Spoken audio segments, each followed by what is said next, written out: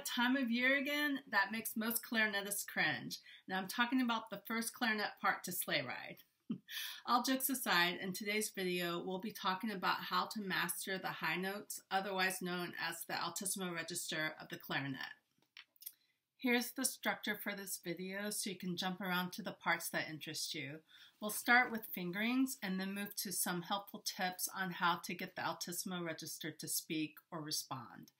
Make sure to like and subscribe to my channel so you don't miss part two to this video coming out next week where I'll talk about how to play the high notes above altissimo G. I've also made a PDF to go along with this video and you can download it. It will be in the pinned comment at the top of this video and also in the description box if you're interested. It includes a lot of alternate fingerings.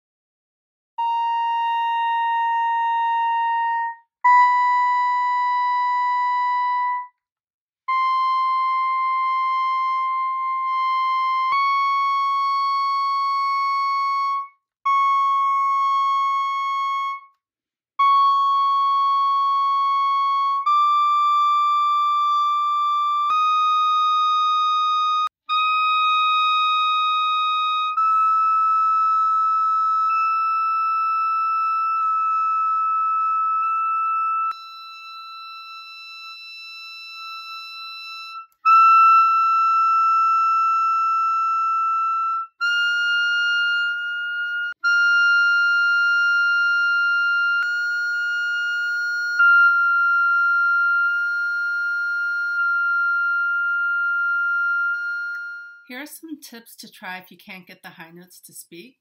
So playing high notes on clarinet can be really challenging, but with the right technique and practice, you can achieve a clear and controlled sound in the upper register. Here are some tips to help you play high notes on the clarinet. Number one, proper embouchure. So maintain a firm and focused embouchure. Imagine saying the vowel E or he as you play, keeping the corners firm and your jaw steady avoid biting down on the mouthpiece. That's a really common mistake a lot of people make because they feel like they're losing control, so they bite into the mouthpiece, and that essentially dampens the reed from vibrating, and those notes just won't speak. Number two, supported air. So use a strong supported airflow. Engage your diaphragm and push a fast stream of air through the instrument. The airspeed is crucial to producing clear high notes.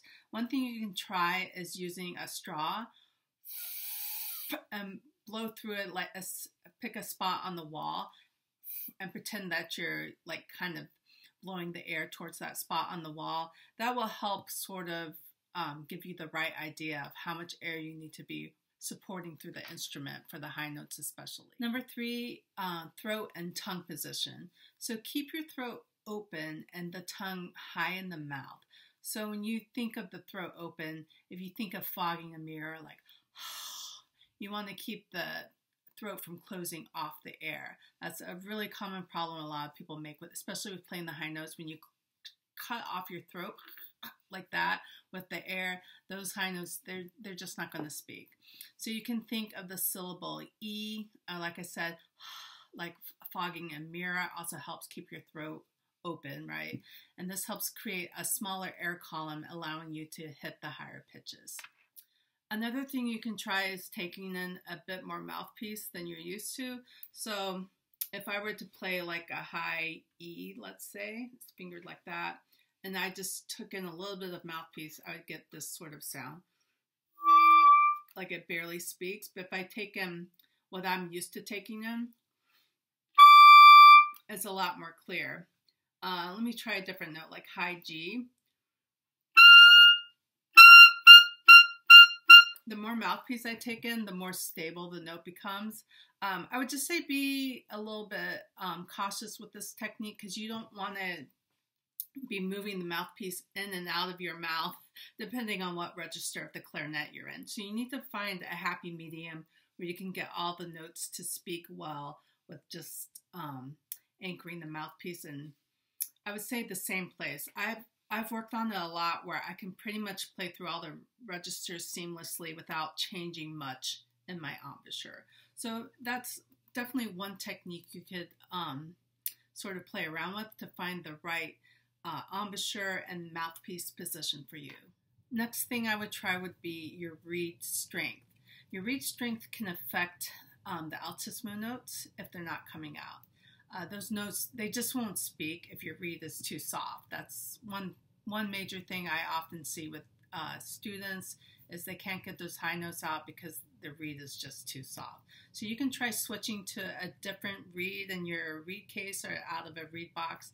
And if that doesn't work, I would recommend going up one half strength more from the current reed strength you're at. So if you're playing on a reed strength of three, you could try going up to the strength of three and a half, and so on and so forth. Next is your finger technique. So make sure you're playing the right fingerings. Sometimes it helps to play in front of a mirror when you're learning new fingerings. Um, ensure that your finger technique is quick and precise. So practice scales and exercises in the high register to develop finger dexterity and coordination. Practice long tones. So practicing long tones in the upper register helps to build strength and control. Start with the notes you find most comfortable and gradually expand to higher pitches. Overtones and harmonics. So maybe I should make a video about how to do this, but working on your overtones and harmonics by playing like a low note on clarinet and gradually moving your fingers to produce higher pitches. So you can start, uh, we'll start on the low E, which is fingered like this. Then you can kind of flick the register key so you get the B, that's a twelfth above that. And what I'm doing there is I'm flicking the register key between the two pitches and then I'm letting go the register key. So I'm essentially fingering an E and the B is speaking. So I'll try that again.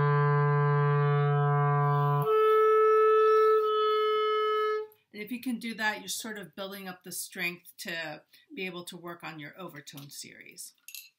Next would be your gradual range expansion. So one easy way to do this is to play your scales and then start expanding the range of it. So if I were to do C major and just um, simply, let's see, I'll start in the second octave right in here.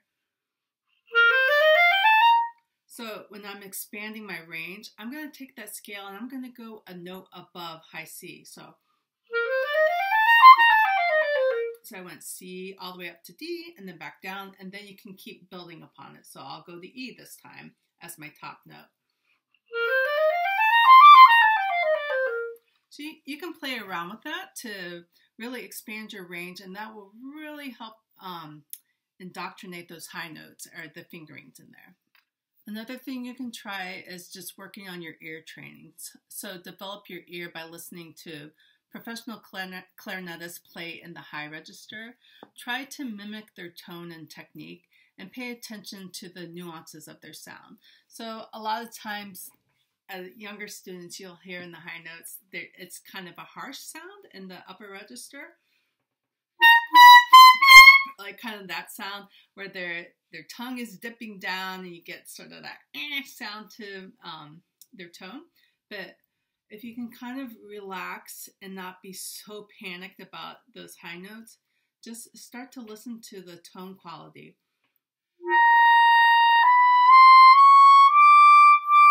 You just want to keep a nice steady stream and make it sound almost, I would say, a beautiful clarinet tone up there is almost you know, ethereal would be the word I would I would try to go for, right? You don't want something harsh. Um, there are times when you want a harsh sound, but I would say most of the time the clarinet can naturally do it on its own. So your job is to make as nice a sound as you can up there. And lastly, I would say seek guidance if you need it. Um, go to a clarinet teacher. Sometimes it could just be like your mouthpiece is out of date, it's just not helping you play those high notes. It could be, you know, if you're trying a different ligature, that could also help, you know. But I would go to the teacher because they would have the, you know, the know how to tell you what to try for your specific needs. So remember that playing high notes on clarinet requires a lot of patience and consistent practice. So take breaks when you need to to avoid fatigue and just you know getting discouraged from playing those high notes Uh, with time and dedication, you'll become more comfortable and confident with the upper register on the clarinet. Before I close out this video, I want to hear from you. So what are your go-to exercises for conquering those high notes? Share your favorites in the comments below and let's learn from each other. Don't forget to like and subscribe so you don't miss part two to this video. Thanks again. O Tannenbaum, o Tannenbaum, wie treu sind deine Blätter. O Tannenbaum, o Tannenbaum, wie treu sind deine